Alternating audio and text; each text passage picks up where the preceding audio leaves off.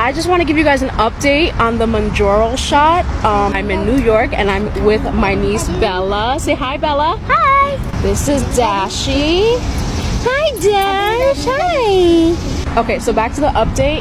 I have been taking the Mounjaro. Yeah, give me a second. I've been taking the Mounjaro shot since Wednesday, and today is Monday.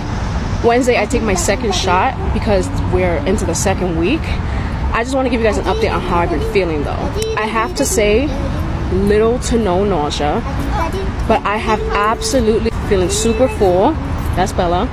Feeling super full. Like this morning, I had two eggs and cereal, and I was like stuffed.